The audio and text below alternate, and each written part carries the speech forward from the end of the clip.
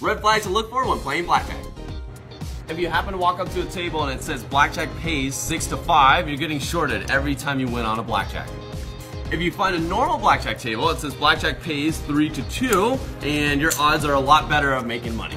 Try to avoid any tables that have more than 6 decks in their shoe. This is an 8 deck shoe, so you don't want to play on that table, as well as any table that has an automatic card shuffler. The cards come out completely random and decreases your chances of making money. And if you're walking around and stumble upon free bet blackjack, please stay away from that table. And if you want to find out why, stay tuned for our next video that's coming out very soon.